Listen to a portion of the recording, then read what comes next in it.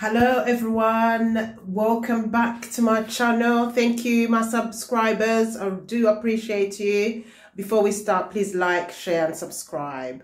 Okay i just wanted to do a quick message around following your passion following your hobbies. Um i challenge you to do something that you like something that you have put on the back burner because you have to work or you have to um, you know you're so busy to actually uh, tend to your own um, hobbies. So what are they? What have you been putting back on the back burner that you haven't followed through?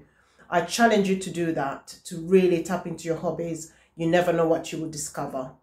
Myself included um, i'm going to discover some i'm going to try and challenge myself and do something that i haven't done before. So uh, watch this space um, yes, as adults, sometimes we get caught in life. We become too serious when we, and we forget to follow our hobbies. So, you know, just make time for yourself, make time for your hobbies is so, so crucial. Okay. So please share, um, you know, some of those, um, some of those, um, talents that you have that you've been, you know, pushing away or not having enough time to do. What are they? Okay. I look forward to connecting with you. That having been said, enjoy the rest of your evening and I hope you've had a good weekend. All right. Bye for now. Thank you. Please share, subscribe. Bye for now.